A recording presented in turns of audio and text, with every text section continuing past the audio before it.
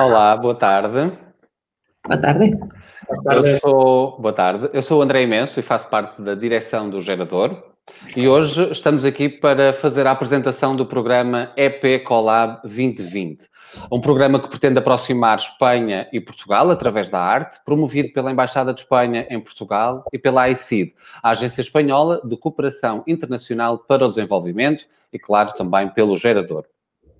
Por isso, hoje temos aqui a sorte de poder contar com a presença da senhora embaixadora uh, da Embaixada de Espanha em Portugal, a doutora Marta Roy. Boa tarde.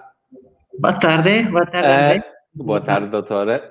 Um, e pelo diretor-geral da ICI, o doutor Guzmán Fernandes. Boa tarde. Boas tardes. Esta iniciativa, o EP Collab, está inserida no programa Ventana, uma janela para a cultura espanhola da ICID. Eh, este programa pretende promover a internacionalização de criadores, instituições, festivais e indústrias culturais espanholas através de conteúdos digitais. Vamos ter a oportunidade de conhecer um bocadinho mais em pormenor sobre este programa sobre este programa Ventana e o trabalho que tem vindo a desenvolver, mas antes disso, começo por dar a palavra à senhora embaixadora e, para, e, e começo por lhe perguntar, para a Embaixada de Espanha em Portugal, qual é a importância das relações culturais entre Espanha e Portugal e quais são os principais eixos em que estas relações se articulam? Boa tarde, André. Eh, obrigada, muito obrigada por eh, ter eh, esta ocasião para dirigirme a través de Gerator a un gran público interesado na vida cultural. Um, saludo también a, a Guzmán, a Guzmán Palacios, que además de compañero desempeña en este momento de modo reciente eh, una extraordinaria responsabilidad, que es la de eh, dirigir, encauzar y gestionar la proyección cultural de España en el exterior a través de la Dirección General de Relaciones Culturales y de Cooperación. Bueno, para responder directamente a la pregunta, eh, la relación cultural de España con Portugal es extraordinaria, de la, de la misma manera que lo es con otros muchos países y en particular aquellos que son de habla, eh, de habla hispana. Eh, sin embargo, con Portugal, debido a las, eh, digamos, a la, a la, larga historia que hemos compartido eh, durante pues, eh, más de cinco siglos, y debido también a la proximidad física y también a una proximidad, digamos, de espíritu compartida también por una lengua o unas lenguas que son muy afines. En fin, hay muchísimas circunstancias que avalan que nuestra relación sea intensa, pero no solamente intensa en cuanto a, a volumen de, de, de, actividades y a ambición, sino también intensa en cuanto a la diversidad de la relación cultural. Abarca todos los ámbitos que se entienden por cultura, que como sabemos son muy diversos, y para ello tenemos instrumentos eh, cada vez más eh, consolidados y algunos de ellos novedosos, como es en este caso las redes. Eh, España en, en, Portugal no solamente es una embajada de las más antiguas que tiene nuestra proyección exterior, eh, pero también tiene una, una, componente cultural muy importante. Tenemos una consejería cultural que se dedica exclusivamente a, a, la promoción de las relaciones culturales, pero junto a la consejería, a la consejería cultural que está siempre extraordinariamente gestionada, y en este caso por eh, nuestra consejera cultural, Lourdes Menéndez y su equipo. Además, tenemos el Instituto Cervantes, eh, tenemos eh, también la Cámara de Comercio hispano-portuguesa, que hace una labor estrictamente, no hace una labor estrictamente económica comercial, sino que también entra a respaldar y a incluso alimentar nuestra relación cultural a través de un diálogo muy extenso y eh, asimismo eh, bueno, la presencia de actores eh, sociales, actores institucionales que tienen también su proyección cultural. No solamente los bancos y las fundaciones, la Fundación Caixa, la Fundación Ramón Areces, y tenemos también una presencia a través de las universidades, a través de de un centro también, que es un Instituto Español de Ginear de los Ríos, que es el colegio español más importante y más antiguo de los creados y de los que existen en este momento en el mundo exterior. En fin, eh, tenemos muchísimos ejes. Pero mm, volviendo más a la, volviendo un poco a, este es el marco de la acción cultural de España en Portugal. Pero después tenemos unas líneas de acción que son más específicas y que se enmarcan en programas, unos que son de carácter regular, metódico, sistemático y otras actividades que tienen una labor más de proyección y de estrategia de largo plazo. Por ejemplo, en este momento la que estamos mencionando, que es eh, el proyecto de, colaboración eh, y de, intercambio de, diálogo cultural a través de, este, esta nueva ventana que es la que se está eh, lanzando en este momento.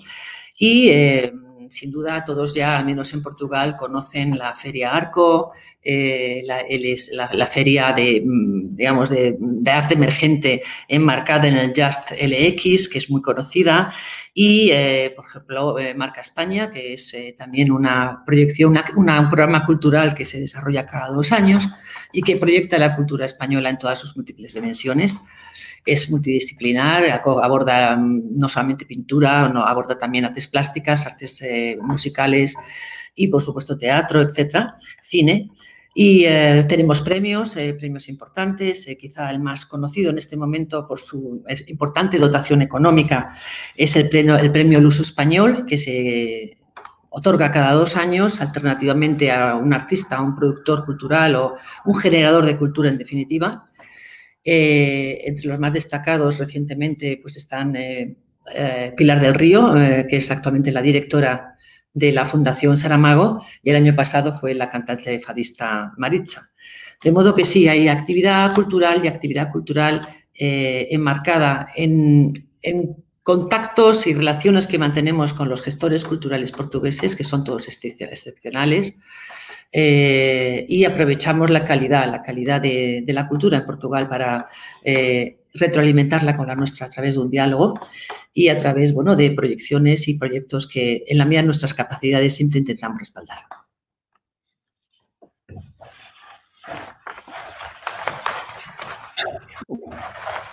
Uh, muito.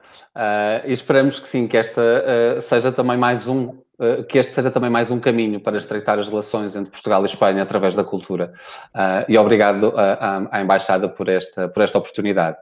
Uh, para ficarmos também a conhecer uh, o trabalho que a ICID uh, tem desenvolvido, eu pedi agora então ao Dr. Guzmán que nos fale um bocadinho do, do, trabalho que a ICI tem desenvolvido para a promoção também destas relações uh, culturais entre Espanha e, uh, e outros países e, e pergunto um, ehm, muito concretamente, tendo em conta a pandemia que estamos a viver agora, ehm, quais são as, nova, as novas linhas orientadoras para o programa Ventana, ou como a senhora embaixadora disse, para esta nova Ventana, uh, e quais são estes objetivos e os projetos que já estão em execução?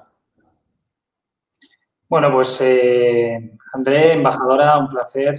Eh, antes que nada, mi más sincero agradecimiento por brindarme esta oportunidad de poder dirigirme a todos ustedes y mis más sinceras disculpas por no poderme dirigir eh, a, quienes nos estén viendo en directo en, portugués. lo primero que quisiera ubicar es dónde está la Dirección de Relaciones Culturales y Científicas está ahora mismo encuadrada dentro de la Agencia Española de Cooperación Internacional para el Desarrollo, que a su vez mm, está dentro de la estructura del Ministerio de Asuntos Exteriores de España.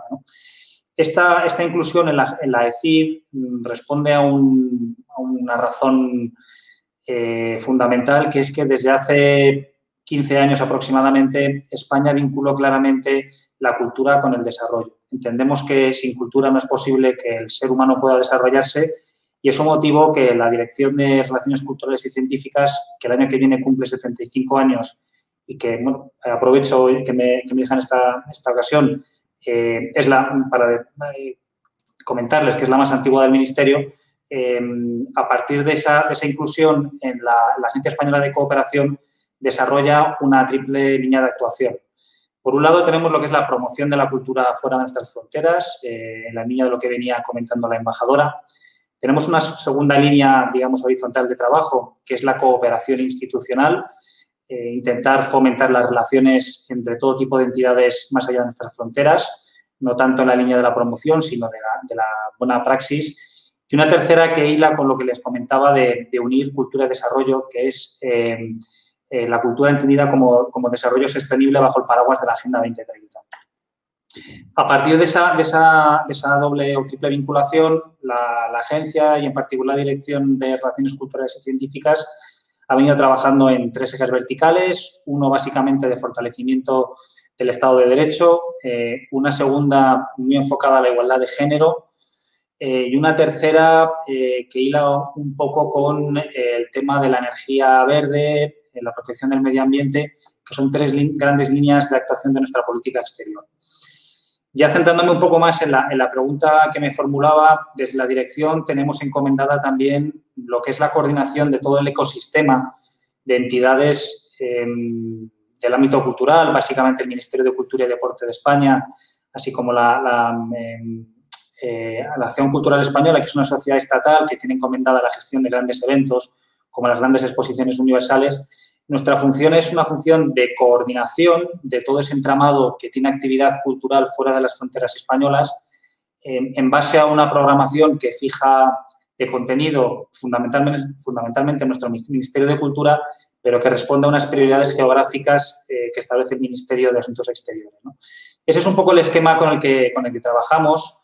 Eh, luego la, casuística es muy diferente en función de cada país. Eh, en el caso de Portugal ya ha hecho una, una descripción la embajadora, eh, pero sí quería comentarles que nos hemos visto un poco obligados a cambiar la dinámica habitual de funcionamiento como consecuencia de la pandemia. Em, como todos ustedes habrán podido comprobar, nos hemos visto obligados a, a rehuir un poco del mundo presencial para, para adentrarnos en, lo desconocido para la Administración, eh, que es eh, acudir a los medios telemáticos, ha sido un proceso rápido de aprendizaje y estamos en, ello. Eh, eso se aplica también a nuestras relaciones culturales y esto motivó que a principios, o más bien eh, sí, a principios del verano, en el mes de junio, julio, se pusiera en marcha el llamado programa Ventana, eh, que como su nombre indica es una ventana a la cultura española a través de los medios de comunicación. y bueno, pues que vincula o que se une con, con lo que estamos aquí presentando. ¿no? utilizar los medios telemáticos para eh, no solo promocionar la cultura española, sino poner en valor o poner en contacto a diferentes culturas. Eh, ese programa Ventana eh, tiene un, objetivo que, como les decía, es la promoción, pero también utilizamos las, herramientas digitales para el tema formativo. Estamos intentando llevar em, nuestras escuelas taller, que es una señal de identidad de la Dirección de Relaciones Culturales y Científicas, a través de las redes sociales eh, y luego una labor de, fomento o de, puesta en valor de nuestras eh, industrias culturales, nuestro sector cultural, que se ha visto muy afectada por la, por la pandemia, por los recortes presupuestarios, eh, y se están empleando los recursos que tenía asignada cada embajada y, la Dirección de Relaciones Culturales en Madrid, básicamente destinar esos recursos que, tenían una orientación más de actividad presencial a la actividad online, ¿no? la, la producción, la postproducción, eh, muy en contacto con eh, nuestras contrapartes locales y aquí es donde entran ustedes que nos brindan la posibilidad de, no solo fomentar o promocionar nuestra cultura, sino poder eh, interactuar con, nuestras contrapartes locales. entonces, de nuevo, mi, mi agradecimiento por, brindarnos esta, esta posibilidad y esta oportunidad.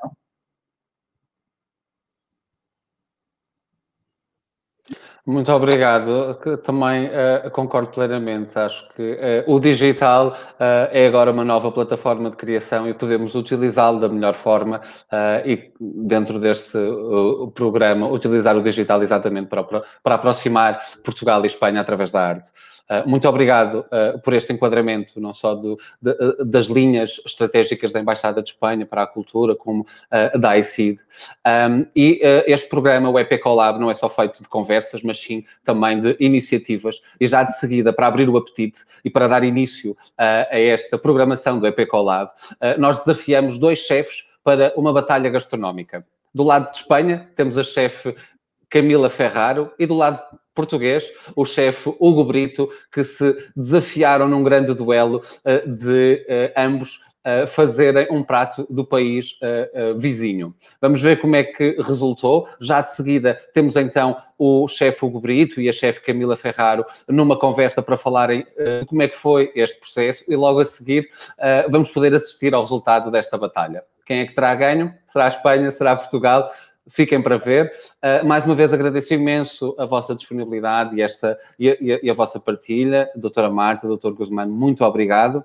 Um, e a quem nos está a assistir, uh, fiquem atentos porque o EP Collab vai aparecer com mais iniciativas. Obrigado e até já. Tchau. Obrigado.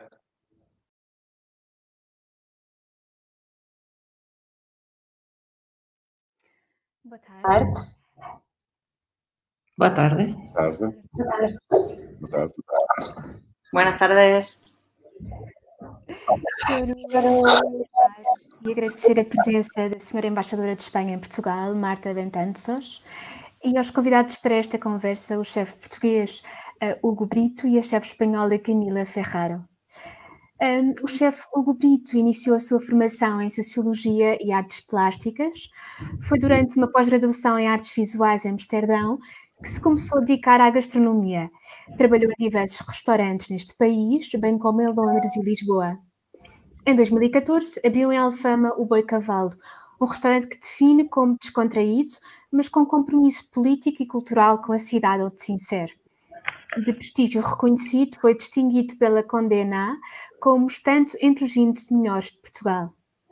A chefe Camila Ferraro estudou na Escola Andaluz La Consola, em Málaga, e desenvolveu os seus conhecimentos da cozinha no restaurante El Lago, em Marbella, e a Poniente, em El Puerto de Santa Maria. Em Barcelona trabalhou em restaurantes como Rocamo, Tanta e Moments. Um, foi chefe de produção durante três anos no Celler de Can Roca, que também, uh, durante dez anos consecutivos, esteve no top 5 do World's Best Restaurants. Em 2018, abriu em Sevilha o restaurante Sobre Tablas, que uh, recupera as tradições gastronómicas com novos sabores e elabora uma nova carta a cada estação. Em janeiro de 2020, foi galardoada com o prémio Cozinha Revelação de Madrid Fudion, passando a ser a primeira mulher distinguida com este prémio. Bem-vindos, bem-vindas. Muchas gracias. Obrigado. Obrigada. Obrigado a todos. A dieta mediterrânica, partilhada por Portugal e Espanha, foi declarada Património uh, Cultural e Imaterial da Humanidade pela Unesco em 2013. E a Unesco descreve-a como um conjunto de habilidades, conhecimentos, rituais, símbolos e tradições relacionados com os cultivos e colheitas agrícolas, a pesca e a criação de animais e também com a forma de conservar, transformar, cozinhar, partilhar e consumir os alimentos. Dirijo a primeira questão à senhora embaixadora Marta. Um, que a gastronomia foi o tema escolhido para dar início ao programa EP Colab 2020? Boa tarde, Raquel. Boa tarde, Camila, Hugo. Eh, muito gusto eh, conhecer, saludar e, e, sobretudo, de poder conversar, sobretudo porque uh, no, no contexto da diplomacia, acho que a, a, a presencia a presencia da cocina, eh, da, das dietas, eh, do, do sentido do acollimiento que se faz ao torno dunha mesa é vital. E, por tanto, eh, prestamos mucha atención y nos sentimos también muy agradecidos de ser siempre bien tratados en la mesa. Eh, ¿Por qué hemos elegido la, una batalla culinaria? Bueno, porque teníamos los mejores. Eh, y entonces, eh, teniendo los mejores, hay que empezar por ahí. Eh, por otra parte, porque vivimos eh, aquí en Portugal, eh, un país en donde la cultura culinaria es muy personal, tiene un estilo propio, es extraordinariamente rica, variada y, um, y para nosotros es una forma de sentirnos también muy, um, muy acompañados dado que en España también eh, la cultura culinaria es muy importante. Y no ocurre así en otras relaciones de otros países, ¿no? Por contra, entre España y Portugal hay un diálogo muy grande en todos los ámbitos, pero también en el culinario. Y, eh, y nos ha parecido que es una, una, excelente manera de entrar en la ventana y entrar en un diálogo, no empezando por lo obvio, que pudiera ser eh, artistas, creadores, pensadores, sino entrando por lo inmediato y por lo que nos entra por los cinco sentidos. Eh, y aquí estamos en manos de los mejores, de nuevo. Obrigada. Uh, Hugo, uh, como é que foi o seu primeiro contacto com a gastronomia espanhola? Uh, Não, quer dizer, para além daquela parte biográfica pessoal que, é, que são as visitas que na, na infância, na adolescência, eh, todos fazíamos a Espanha, não é? Uh, íamos, a, íamos, como eu já comentei com a Camila, íamos a, a, a Badajoz comprar caramelo, caramelos e, e, e melocotão e etc. É, é, é, eu, há uns anos tive, tive a sorte de, de, ter cozinhado em Espanha, de ter, de ter tido um ou dois eventos em Espanha, mas a, a questão é que eu sempre senti que é, o, a Espanha ser o nosso vizinho imediato não era apenas uma questão geográfica, era também uma questão de, de, identidade, de hábito e de cultura.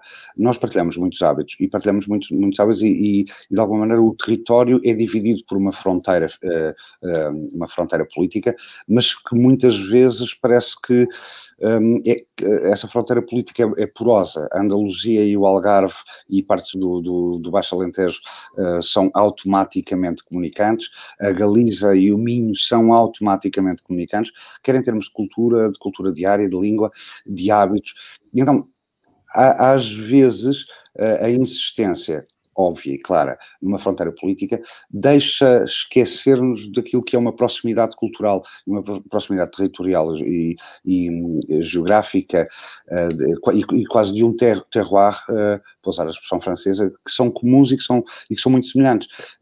E no fundo é, é quase uma, uma, uma, proximidade natural. Uh, às vezes temos que fazer um bocadinho uh, a ginástica mental de não criar uma rejeição que é baseada então numa fronteira política, porque é, apticamente, em termos naturais, a proximidade já lá está.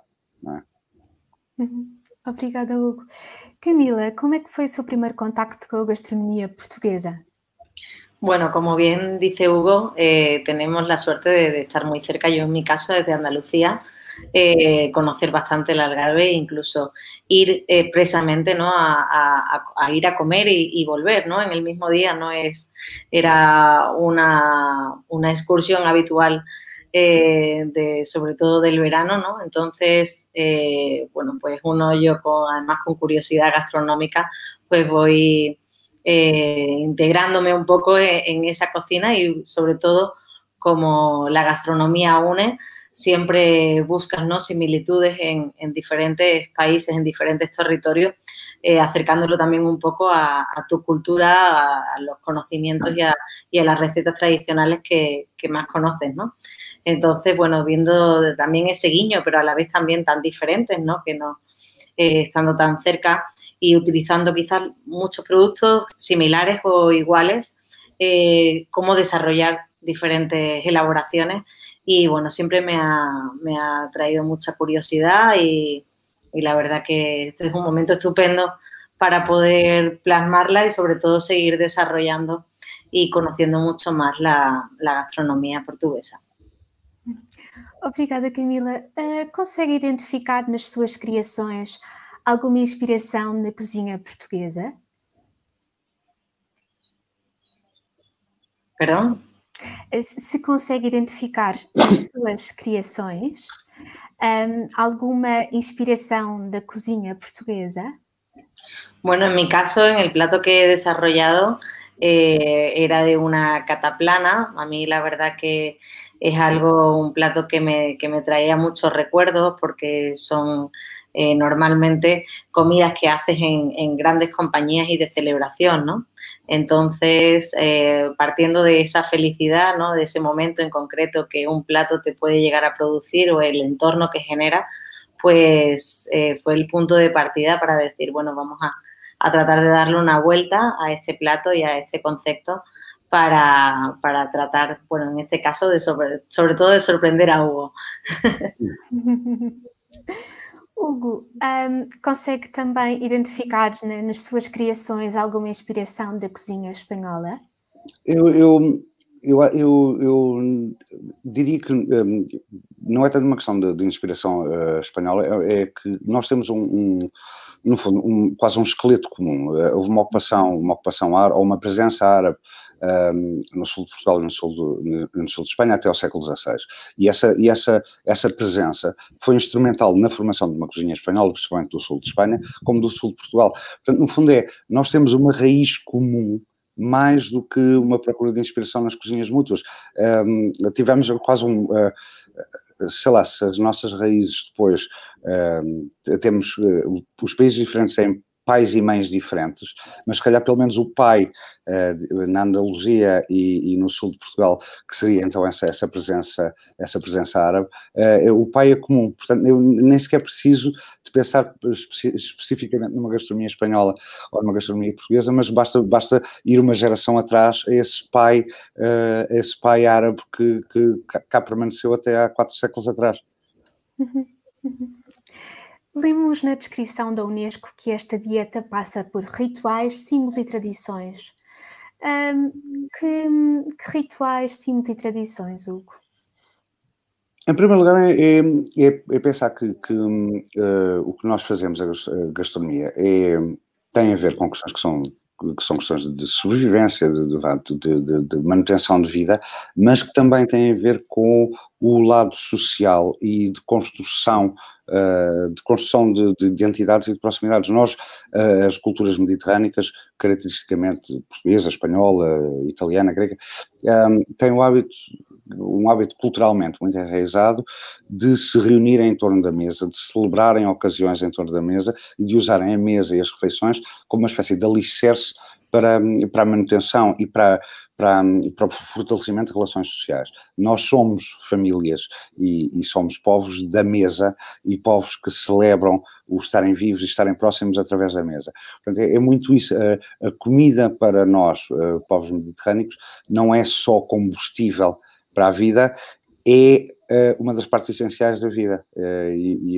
eu, acho que será essa a, parte, de, esse ponto cultural e esse ponto que nos caracteriza, ehm, que, é, que é fortíssimo. Uhum. Obrigada, Luco. Camila, uh, é possível contar um país através da gastronomia? Bueno, yo creo que sí, aunque un país da para mucho, ¿no? En cada, en cada zona, ¿no? Se genera eh, en función de, los terrenos y las altitudes que tengan, proximidad al mar o no, eh, se desarrollan platos diferentes, pero siempre hay nexos comunes, ¿no? Y al final eh, yo creo que tanto la cocina portuguesa como la cocina española tiene una, una base arraigada de unos buenos fondos y de vegetales y luego ya van variando en función del diferente eh, punto geográfico de, ese país en el que se le añadan pues, productos más del mar, de tierra o lácteos o infinidad de, productos que, se, van viendo a través de su paisaje. Pero sí que es verdad que creo que hay algo en, común, ¿no? Y sobre todo que, que sí es bastante identificativo que, son cocinas de, fondo y son cocinas de, cocciones lentas y, bueno, de mucho trabajo, ¿no? en general. Um, Hugo, falamos de encontros, mas também há que reconhecer a diversidade. Ah, quais são as especificidades de cada cozinha? São as especificidades uh, das histórias de cada país, não é? Uh, um, a, Espanha sempre foi um, um, um, um bocadinho como, como, o modelo é diferente. Em Portugal sempre houve um poder centralizado, um poder feudal centralizado e historicamente sempre houve uma monarquia extremamente forte. Não houve um fenómeno regionalista ou uma divisão regionalista do país tão, tão fortemente marcada como, como aconteceu em Espanha.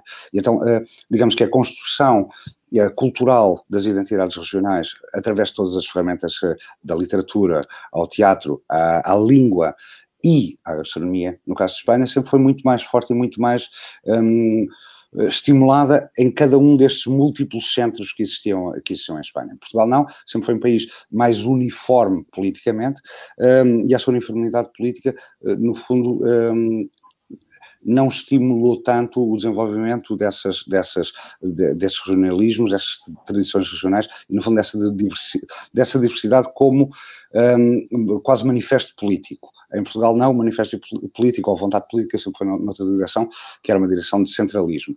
Um, agora, o que acontece é que um, depois acontece a vida, não é? E acontece a maneira como as pessoas vivem.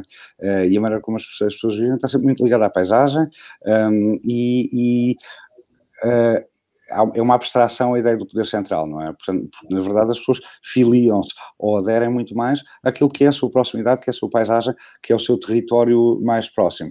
E então temos pequenos micro-regionalismos em Portugal e menos a tradição de grandes identidades de múltiplas nações, como Espanha sempre foi um país de mais, um país de muitas nações, enquanto Portugal sempre foi uma nação com micro pequeninos, eh, uma nação, no fundo era quase um país de uma nação e aldeias. E Espanha sempre foi uma coisa um bocadinho mais complexa em termos políticos e então, e culturalmente também.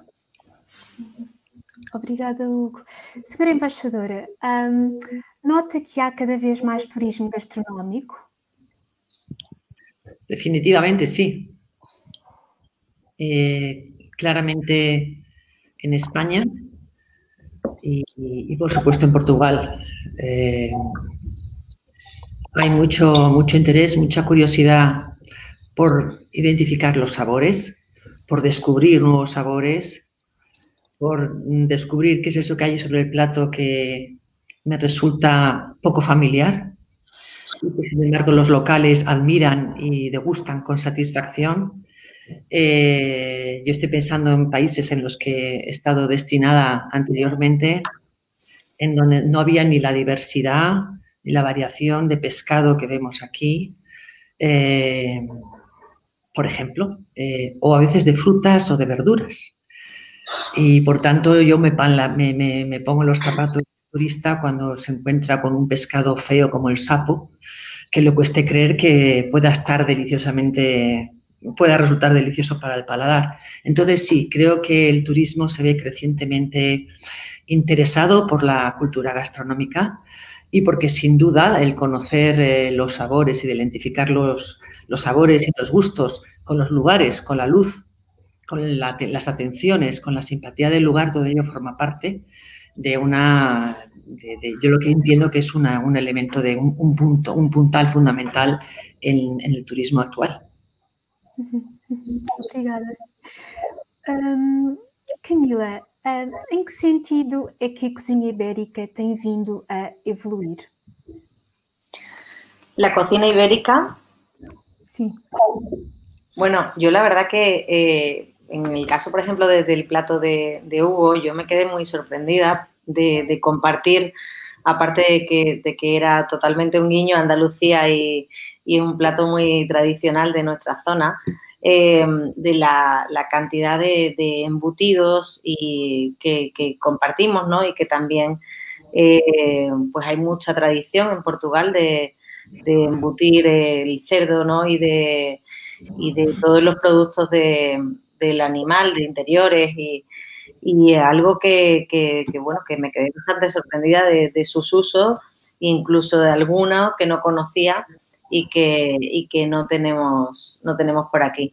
Pero bueno, al fin y al cabo, como, como conjunto, yo creo que, que la gastronomía, tanto española como portuguesa, está bastante ligada, nos une muchas cosas, incluso a nivel eh, de formación. Eh, he tenido muchos compañeros portugueses en, cocinas en las que he trabajado y, hemos compartido recetas y experiencias y, al fin y al cabo, bueno, el caldo de cultivo al final no, es, no está tan alejado, ¿no? Nos formamos en, muchos sitios parecidos y por lo tanto luego cuando uno vuelve a, a su ciudad, a su restaurante, pues pone en práctica todos estos conocimientos y, bueno, claro, los adapta a los productos de su cercanía, pero, pero se encuentran muchas similitudes. E, e pensa que com a globalização, a identidade gastronómica tenderá a diluir-se com outras? Bueno, eh, sí que, perdón, eh, Conte, conte, bueno, digo que creo que, bueno, todo enriquece, ¿no? Y a nivel gastronómico, pues mucho más. Eh, cualquier aportación, pues siempre es buena y además, ya, por ejemplo, en mi entorno tengo productores que, están cultivando, eh, bueno, hortalizas de, otros puntos del mundo que enriquecen más eh, nuestra gastronomía, ¿no? eh, no es simplemente el, comprarlo de un, de un país muy lejano, sino que ya se están produciendo muy cerca de nosotros y esto pues eh, es el momento de incorporarlos incluso a nuestras recetas tradicionales y por qué no transformarlas o, mejorarlas en algunos casos. Entonces, eh, todo suma, pero sí que es verdad que yo soy una fiel defensora de que hay que mantener también eh, las recetas tradicionales y, no sacarlas de las cartas definitivamente de los restaurantes. Obrigada, Camila. Hugo, eh, qual é a sua opinião eh, acerca desta globalização e da identidade gastronómica? Pode perder-se ou não? Ah, quer dizer, um, pode perder-se, sim. Eu, eu, eu, não acho que. Não quero ser pessimista, mas um, uh, não podemos deixar, ou não podemos pensa que ela se vai defender a si própria. Temos que ser nós e tem que ser uma espécie de consciência cultural de que isto é, isto é realmente parte da nossa cultura, isto é parte de quem, de quem nós somos e que, um, e que temos que, de alguma maneira, val a valorizar e a valorizar individualmente e cotidianamente. Portanto, saber que os produtores, os produtores que, que, que continuam a insistir em produzir aquilo que são as nossas variedades autóctonas, um, as pessoas que se dedicam a fazer a pesquisa, a pesquisa antropológica daquilo que é o nosso património, o nosso património gastronómico e culinário, e as pessoas que o praticam têm que ser recompensadas e têm que ser recompensadas eh, financeiramente, de modo a que, a, que a sua atividade seja, seja, seja perdurável perdure no tempo. Um, e então, sim, há um, há um há um trabalho que eu acho mais, mais feito em Espanha do que em Portugal de atribuir valor a isso. A Espanha eu acho que está, está bastante à frente um, do, que, do que nós em relação a isso, em relação a, a, ter consciência daquilo que é o seu património e a dar valor. Eu acho que em Portugal ainda estamos um bocadinho aquém. Um, Uh, mas acho que é, uh, felizmente, uma coisa que, é ótimo, que me dá otimismo, é que cada vez mais eu vejo que as pessoas estão interessadas, as pessoas começam a ganhar consciência em relação a isso. Uh, mas sim, é, é, não podemos deixar-nos levar por uma onda que é uma espécie de infantilização e universalização do palato e da gastronomia, porque às tantas acabamos todos, todos, todos iguais e, e não todos mais interessantes, que é o que às vezes está um bocadinho a acontecer. Portanto, é uma luta, não acho que seja um, temos que, como consumidores e como, como, pessoas que trabalham nisto, estar conscientes que isto é uma luta, isto não é uma coisa que, que vá cuidar de si própria. Obrigada, Hugo. Camila, um, qual a importância da sustentabilidade na cozinha? A importância, perdão, de quê? Da sustentabilidade.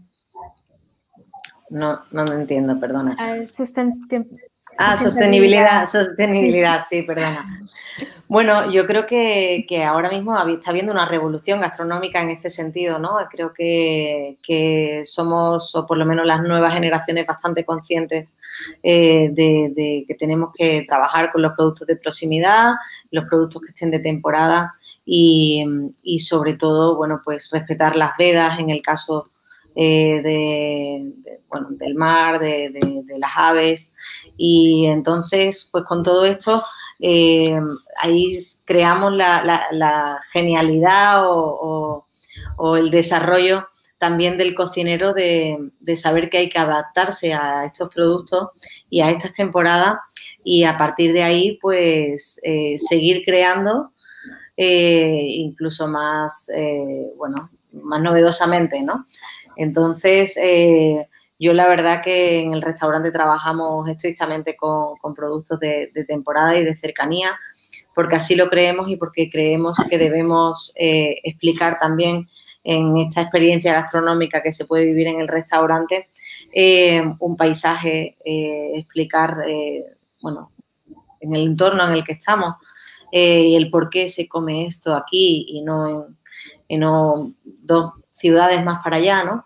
Entonces, eh, yo creo que eso, que la, ahora mismo estamos todos bastante conscientes de que, de que está habiendo un cambio, incluso eh, buscando también en el recetario tradicional de evocar a la memoria del comensal y hacerle recordar platos que, pues eso, pues con la cantidad de ofertas que hay ahora, pues parece que uno lo, ha olvidado y que siempre le trae muy buenos recuerdos cuando, cuando vuelve a, degustarlo.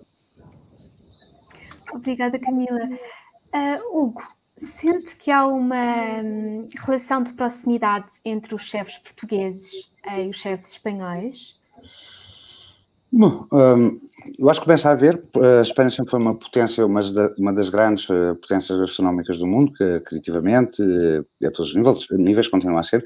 Um, Portugal uh, começou mais tarde então uh, as relações que ainda há são um bocadinho pessoais, não é? Não é Portugal ainda está a demorar um bocadinho a afirmar-se. Agora começa a acontecer mais, isto que aconteceu é um exemplo.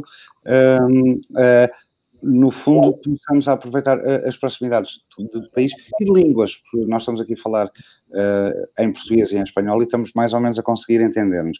Parece que há uma naturalidade em que isto aconteça. Um, eu acho que é um bocadinho. É, é, o que continua, uh, o que continua não no caso português, é que há, uh, no fundo, há uma espécie de consenso social em Espanha, digo eu, de que a gastronomia um, a gastronomia e o, e o, trabalho que nós fazemos, que eu, que eu e a Camila fazemos, tem um valor, tem um valor intrínseco e tem um valor cultural intrínseco. Em Portugal, isso ainda não é tão garantido uh, a ponto de existir, no fundo, um investimento uh, estatal, uh, no fundo, um investimento, um investimento, geral, no sentido de promover e de divulgar e de criar essa maior proximidade. A Espanha já o tem, já chegaram há muito mais tempo do que nós à conclusão de que isto é cultura e de que, de que a gastronomia é essencial para a formação de uma identidade e para a defesa de uma identidade nacional. Um, em em Portugal ainda estamos um bocadinho atrasados. E como é que, como é que faz o balanço uh, na atual cozinha ibérica da autor entre a abordagem tradicional e a estética? A nutricional e a estética, peço desculpa. Uh, não sei se percebo a pergunta. Sim, uh, geralmente nós associamos a cozinha de autor com um cuidado muito grande uh, na inovação e também com um cuidado muito grande na estética. Hum mas, mas, pensa que estamos a evoluir para uma abordagem que também tenha em conta uh, o valor nutricional? Eu acho que, hum, sei lá, desde, desde, a novel, desde a novel cuisine, eh, desde o agro, eu acho que essa, essa parte de, de, da importância, de, desde que se aligeirou, digamos assim, a cozinha francesa, essa, importância, essa importância ou essa atenção dada, dada ao valor, valor nutricional dos alimentos sempre, sempre esteve presente. Eu acho que o lado o lado, uh, vai esse lado mais estético ou de maior preocupação estética e com a apresentação, tem a ver com uma evolução que foi levada até um certo ponto e que tem a ver muito, no fundo, com uma, por um lado, uma, uma questão da comida apelar a todos os sentidos e a visão ser um deles, não é? E por outro lado também uma questão de, de um, no fundo, de, de, de manifestar o valor, uh, o valor do trabalho uh, uh, na comida. Um prato que seja claramente e que tu percebas que ele claramente teve um, um investimento muito grande em termos de trabalho quando é montado, no fundo está a, a, a mostrar o valor que é muitas vezes em, em, uh, ou, que muitas vezes estaria escondido. A apresentação, no fundo, é quase uma ferramenta para dizer: olha, isto deu muito trabalho a fazer lá atrás e torna isso manifesto. Uh, tem, por um lado, a ver com isso, e depois também tem a ver com uma certa tendência que tem a ver com o fine dining, que é um, a ideia de luxo que está muito relacionada com uma decoração formal e uma coisa que tem a ver um bocadinho com a, com a com o requinte e com o, o refinamento. Um, eu não acho, é, no entanto, que desde, lá, desde os anos 60. Um, nos tínhamos esquecido do valor nutricional e das questões uh, que têm a ver com o valor nutricional. Eu acho que desde os anos 60 elas têm estado muito presentes. Uh, a ideia de saúde e a ideia de, um, ehm, de saúde pessoal e também saúde do ambiente. Estão é cada vez mais presentes, agora, ou se calhar mais na, na linha de frente das preocupações, mas sempre existiram desde os anos 60. Obrigada, Hugo. E agora vou, vou, vou, pedir a cada um para apresentar um pouco do prato que na batalha uh, confeccionó. Camila. Bueno, pues el plato que he elaborado es una cataplana, eh, una elaboración que, que, bueno, que me trae muy buenos recuerdos, pero sí que es verdad que no, no pude decidirme entre la, mis dos cataplanas preferidas, que una era la de mariscos y otra era la de batata con pulpo. Entonces decidí hacer dentro de esta batalla otra batalla dentro del plato. Y entonces el plato consiste en que la mitad del plato está compuesta de, un parmentier con cilantro y con diferentes mariscos como navajas, almejas, gambas. Y la otra mitad está compuesta de, batata, de puré de batata con eh, pulpo, por supuesto, y, bueno, acompañándola también con, con, hierbas del mar, ¿no? Como algas, como son la salicornia y el saltifinger, y acompañándolo también pues con un poco de perejil y de cilantro frito. A esto también, pues un denominador común, como Hugo comentaba, de esas raíces árabes que tenemos, pues también llevaba un aire hecho con azafrán. Y en el plato, bueno, esto sería el contorno del plato y en el plato en el centro eh, iría una crema con una elaboración pues tradicional de, de, la salsa que se produce al hacer la cataplana con, con cebolla, con pimientos, con tomate y con un poco de, oporto para darle sobre todo identidad. Así que, bueno, es un plato de cuchara para, ir comiendo y que cada bocado sea eh, sabores, te encuentres sabores y, experiencias diferentes. Obrigada, Camila. Hugo, como é o seu prato?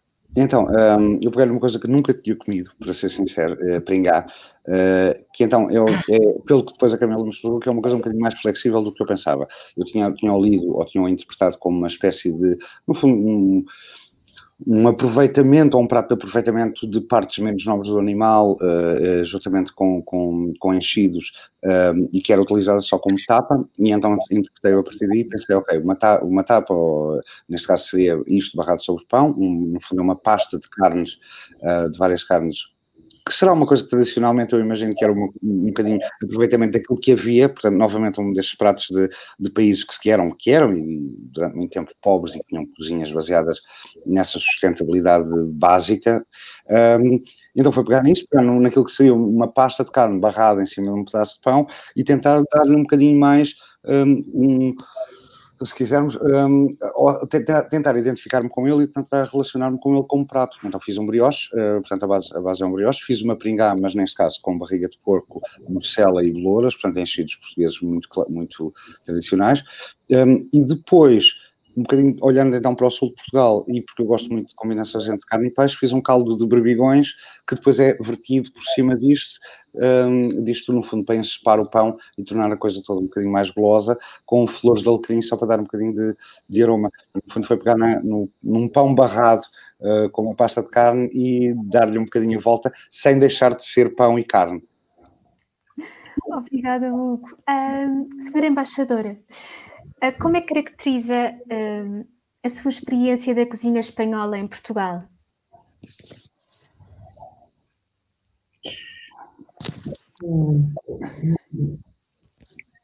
No entiendo muy bien la pregunta. Eh... Sim, sim. Um, ou, ou, seja, como estando a viver em Portugal, nota que há uma forte presença da cozinha espanhola, de restaurantes espanhóis, de chefes espanhóis em Portugal, e costuma consumir Ah, bien, ahora eh, entiendo la pregunta. Eh, gracias. Eh, sí, hay presencia de cocina española, pero no es, no es excesiva en modo alguno. creo que para incluso para lo cerca que estamos podría haber más y no, no se da el caso. yo como consumidora siempre procuro eh, aprovechar a conocer de la cocina portuguesa, con lo cual no soy consumidora de cocina española, no porque no me guste, que la adoro, sino simplemente porque creo que lo que debo hacer es conocer aquello que es nuevo para mí. Pero no cabría, yo no pienso que se pueda decir que la cocina española está muy presente en Portugal. Es conocida en Portugal, que es diferente. Es conocida en Portugal porque hay mucha comunidad portuguesa que viaja a España y viceversa y porque además entre España y Portugal hay una comunicación social tan fluida, tan fluida, que quien no tiene un familiar, un amigo, un vecino con quien comparte eh, platos de cocina española de modo, de modo frecuente. Pero no, no pienso que sea eh, la, restauración española eh, muy protagonista en Portugal, aunque sé que es importante. Eh, y por otra parte, hay, hay, restaurantes tan extraordinarios eh, portugueses que, claro, eh, yo creo que, llevan naturalmente las de ganar siempre, ¿no? La primicia. Y, uh, pero en fin, yo creo que aquí no hay una batalla culinaria en el sentido de cuál es mejor o cuál tiene mayor, mayor tirón o mayor interés. Las dos son extraordinarias, pero lógicamente aquí en Portugal, y lo que yo veo es que el turista extranjero eh, verdaderamente se vuelca en la, en, la, en la, cocina portuguesa. E, e, no que toca à presença da cozinha portuguesa em Espanha, um, considera que é mais forte do que a de Espanha em Portugal? No, no, creo que no. Eh, no, creo que no. Eh, eh, la verdad no, no puedo, es una información que no puedo, no puedo darla con certeza, ¿no? Mi impresión es que eh, más que, la, más que restaurantes portugueses se conocen platos portugueses. Naturalmente el bacalao y la, las mil maneras de preparar el bacalao es muy, muy popular en España. Eh, pero estoy segura que, por ejemplo, en función de las regiones, creo que en Andalucía hay, hay, un mayor conocimiento de algunos platos excelsos de la cocina portuguesa y lo mismo cabe decir en, en Galicia, ahí el pulpo con grelada, pues siempre es, una, es algo que es bastante único y es muy apreciado, ¿no? Eh, creo que son platos específicos, creo que son productos locales eh, y que son siempre probado, o sea, que hay una, hay una eh, voluntad específica de ir a comer exactamente lo que es portugués y, y, básicamente en zonas de proximidad. Y para mí eso me parece extraordinariamente positivo, me parece admirable, vamos, porque creo que, eh, que hay cosas, que hay, hay, productos y hay platos y hay una gastronomía que es deliciosa eh, y que además es muy asequible muy asequible a, a, toda la población y eso me gusta porque quiere decir que todos la podemos degustar e disfrutar. Sim, isso é importante, a democratização uh, no acesso não é, à cultura e nesse sentido também implica a democratização no acesso à gastronomia. Uh, espero que em breve uh, os pratos que resultaram desta batalha possam ser partilhados. Uh, Agradeço a cada um, à senhora embaixadora Marta, ao Hugo Brito e à Camila, um, e desejo um resto de uma boa tarde. Obrigado. Obrigado. Boa tarde. Obrigada. Obrigado. Eh, y mucha suerte con la batalla. Fue una batalla. Disfrutamos mucho. Lo pasamos muy bien. Obrigada. Obrigada. Obrigada.